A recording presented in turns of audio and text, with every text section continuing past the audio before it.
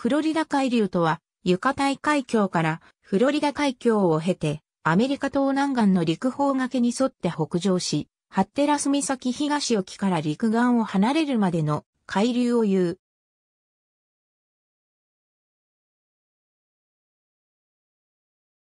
フロリダ海流の最強部は 80km、最深約 800m に過ぎないので、最大流速は4ノットにも達する。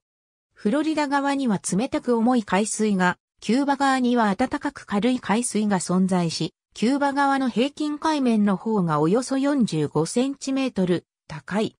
フロリダ海峡における流量は毎秒約2600万トンであるが、海峡より下流ではバハマ諸島北方でアンティル海流やサルガッソ海からの海水が合流するので、下流ほど流量が増加し、ハッテラス岬沖では5500万トンに達する。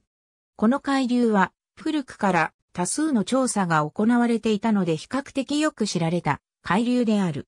この海流には半日周期の潮汐に関連した短期変動から大きな季節的変化、並びに長年の変動があることもわかっている。海流の強さは一定ではなく、予想外に大きな変動が比較的短期間に起こる